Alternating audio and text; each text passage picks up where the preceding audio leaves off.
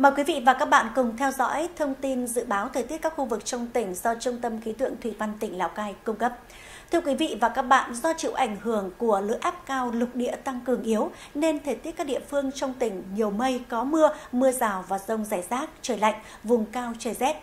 Đêm nay và ngày mai thì các khu vực trong tỉnh chịu ảnh hưởng của áp cao lục địa tiếp tục tăng cường yếu sau ổn định kết hợp với vùng hội tụ gió yếu trên cao nên thời tiết các địa phương trong tỉnh nhiều mây, có mưa, mưa mưa rào và rải rác có rông, trời lạnh, vùng cao trời rét.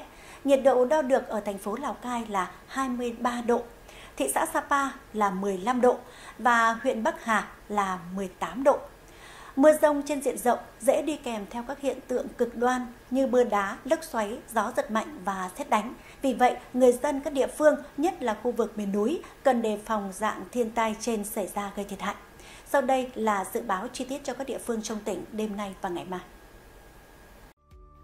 Bản tin dự báo thời tiết cho các địa phương trong tỉnh đêm 26 ngày 27 tháng 3 năm 2023.